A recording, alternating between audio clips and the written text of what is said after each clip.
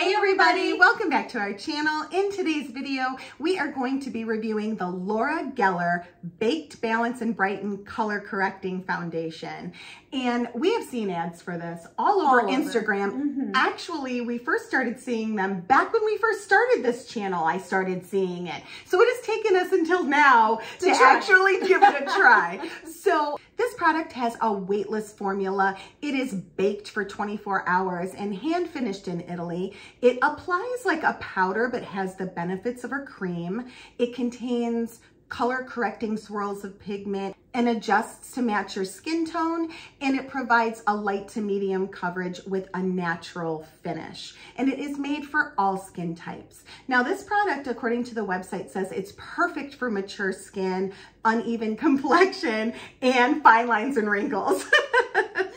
And one thing that I thought was so interesting about the Laura Geller brand is that they are proud to support the National Rosacea Society. And this foundation was the first foundation to earn a seal of, of approval from the National Psoriasis Foundation.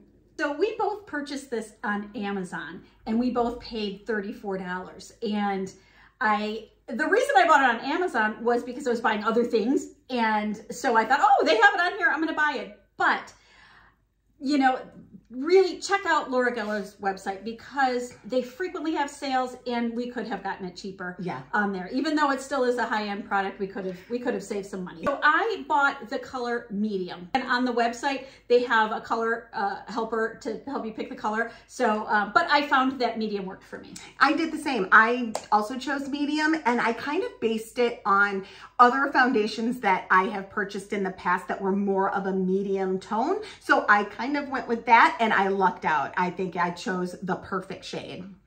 So I applied this three ways. I, I did it all on its own without anything, just moisturizing and putting the product on. And then I used a primer, but I used two different primers. So I actually used it three different ways. I used the product with the Laura Geller retractable Kabuki brush. And I find I found that this worked really well in the application process for me. I actually did it four ways, four different ways. I tried it with two different primers and those were drugstore, both drugstore primers. Then I tried it with a tinted moisturizer underneath. And then the last time I tried it, I tried it completely by itself. Now, when I was looking on the website after I already purchased it, and I was kind of looking about the, you know, finding information about the product, they did suggest to use a dense brush.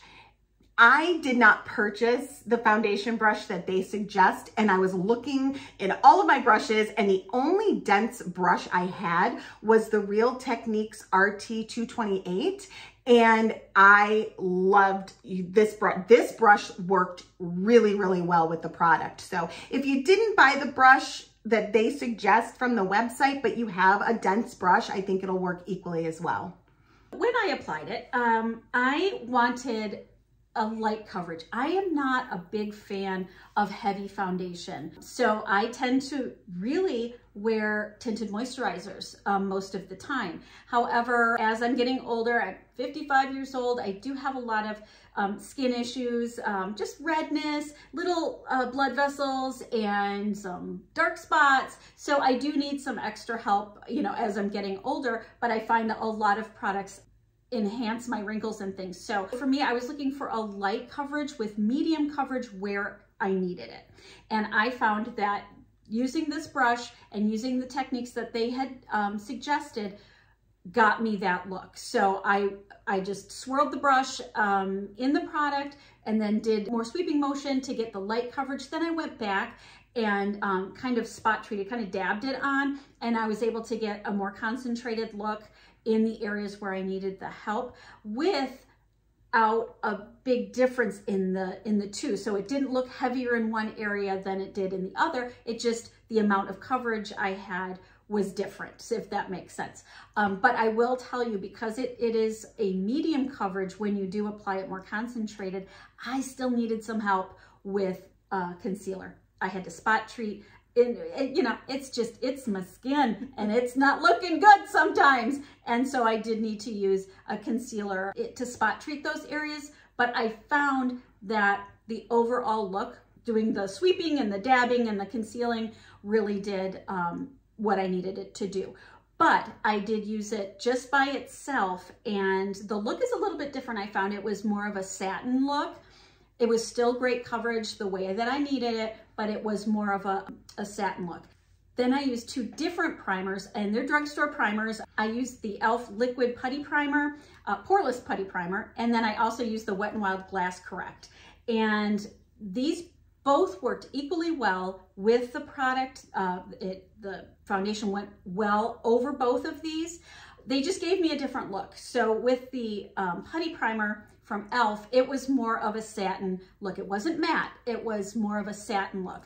Um, which was which was nice. It, it looked it looked really nice, and I liked the end result but I am a dewy gal. I like a dewy look. So using the Glass Correct from Wet n Wild was my favorite look of the three that I did.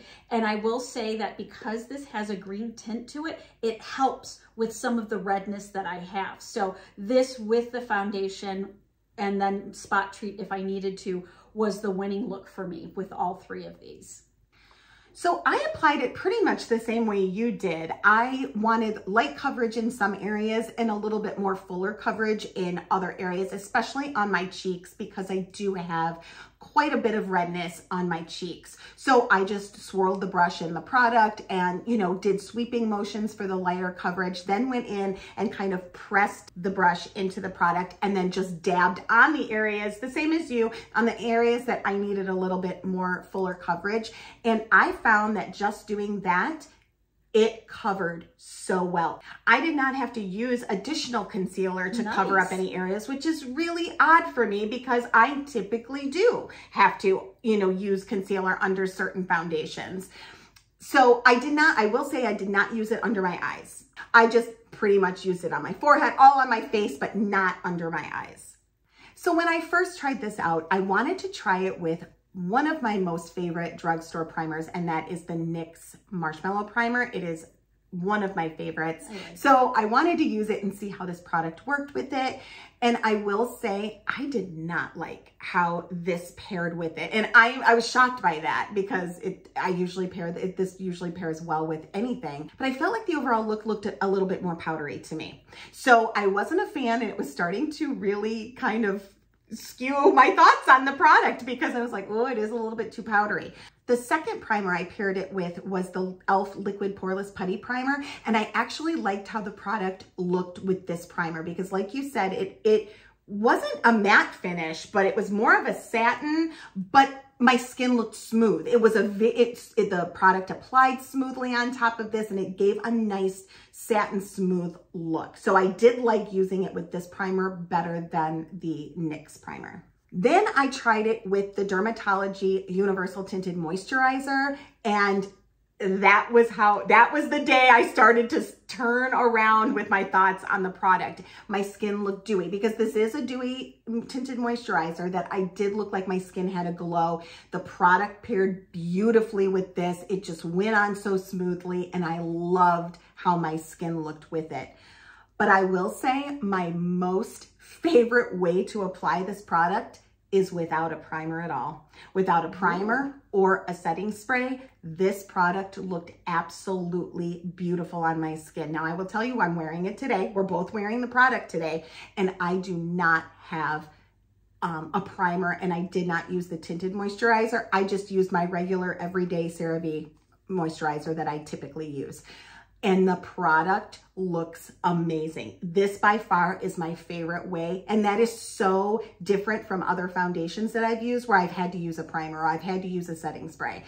This is just me and the product and I love it. I love it. That's awesome.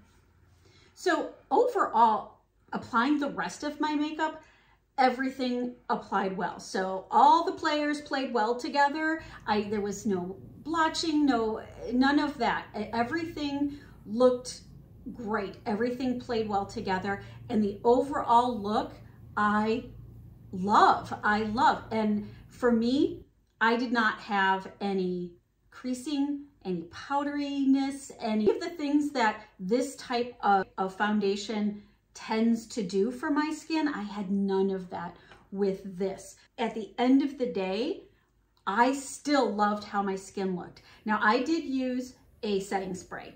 When I used the primer, the product, and then a finishing spray, I found that it lasted a good 12 hours, if not longer, because at the end of the day, when I'm taking my makeup off, I'm still, I'm taking the foundation off. So it is still there. It's faded, but it's still there. So overall look for me, loved it. I absolutely loved how every other bit of makeup that I put on went on over this product. It was seamless. It was smooth. You know, sometimes when you're putting on your contour or your blush and other foundations, it kind of gets stuck, you know, and it's mm-hmm. hard to blend. I did not have that issue at all with this foundation. I loved how the final look of my makeup looked with this product. So throughout the day, I kept checking my makeup. I'm like, it still looks really good, which shocked me because I did not use a setting spray. So I really wanted to see how this was gonna look at the end of the night. And with other powder foundations that we have tried, I hated the way my skin looked. It enhanced every bit of wrinkles. I've got wrinkles around my eyes. I've got the crow's feet. I've got deep wrinkles here. I have really deep, I guess what you call the marionette lines. So when we've used powder foundations before, I've had so much settling, so much creasing in, especially in that area. And at the end of the night, while I did have some fading, so I agree, I had the same fading that you had, but I did not have the creasing or the cakiness. It made my skin at the end of the night look so good. It was it was glowy and really mm -hmm. just smooth. So there was still product there, but a little bit of fading because like you, when I did remove it, and it removes very, very easily, yes. I had some makeup still left on my um, wipe. Mm -hmm.